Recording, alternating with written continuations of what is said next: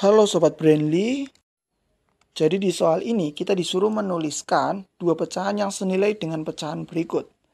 Oke, berarti untuk mencari pecahan senilai, kita bisa langsung mengalihkan atau membagi kedua ruas atas bawah dengan angka yang sama. Oke, contoh seperempat. Kita akan mengalihkan dengan dua kedua ruas. Jadi nanti atas dikali dua.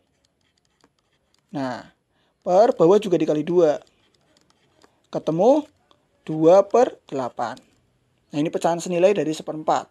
Nah selanjutnya kita bisa langsung nyari lagi bila kedua ruas kita kali 3. Berarti akan jadi seperti ini. Berarti 1 dikali 3 per 4 dikali 3. Akan sama dengan 3 per 12. Nah jadi Dua pecahan senilai dari seperempat bisa 2 per 8 dan 3 per 12. Seperti itu. Nah untuk yang B caranya juga sama.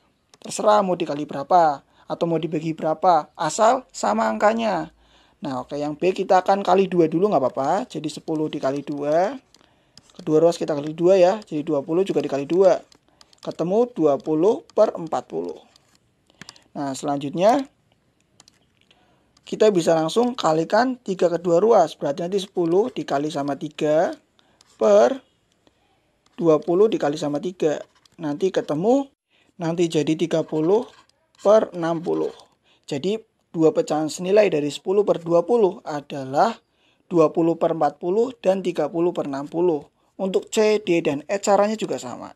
Oke, berarti langkah pertama kita kalikan 2 kedua ruas. Jadi 4 dikali 2 sama 5 dikali 2 ketemu 8 per 10. Nah, selanjutnya kita bisa langsung kalikan 3. Mau dikalikan 4 juga nggak apa-apa, asal sama ya. Oke, berarti 4 dikali sama 3 per 5 dikali sama 3. Ketemu 12 per 15. Oke, jadi dua pecahan senilai dari 4 per 5 adalah 8 per 10 dan 12 per 15. Selanjutnya, ini berarti kita kalikan sama 2, nggak apa-apa.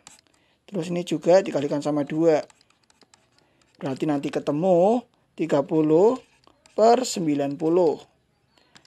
Oke, selanjutnya kita bisa kalikan sama 3 juga nggak apa-apa. Jadi 15 kali 3 per 45 kali 3. Nanti ketemu 45 per 135. Oke, jadi dua pecahan senilai dari 15 per 45 adalah 30 per 90 dan 45 per 135.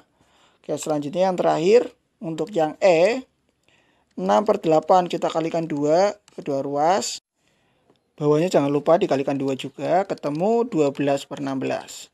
Oke selanjutnya kita kalikan 3 kedua ruas. Jadi 6 dikali 3 per 8 dikali 3. Ketemu 18 per 24. Nah jadi dua pecahan senilai dari 6 per 8 adalah 12 per 16 dan 18 per 24. Mudah bukan saya video ini bisa bermanfaat buat teman-teman. Semangat belajarnya ya.